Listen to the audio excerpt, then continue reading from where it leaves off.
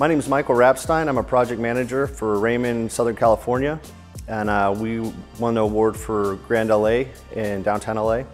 Um, the project was the Grand LA. It's in downtown LA. It was designed by Frank Gehry, legendary architect. It's pretty interesting because it's actually a whole city block of projects designed by Frank Gehry, and uh, it's really neat because you can see all the way through from Olive Street. You can actually see through and see uh, the Disney Concert Hall and it was about 180,000 square feet of plaster.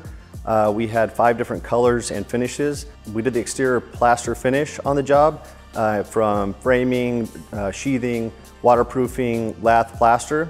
The primary finish was uh, Par Excellence Smooth and Parex Sand Fine.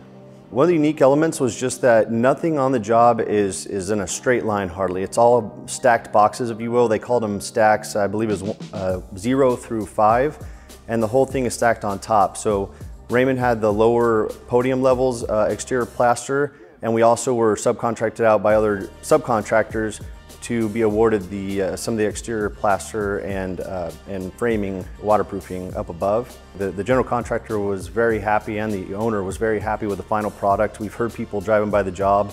It's one of the best plaster systems that they've seen in a very long time. Um, it was an homage smooth system, so you know you have critical light shining on it at almost all times of the day at certain points and, and you just can't see any, any issues with it. It's just an incredibly smooth finish. It's testament to our guys' hard work and dedication to their job and just providing the client with a quality product.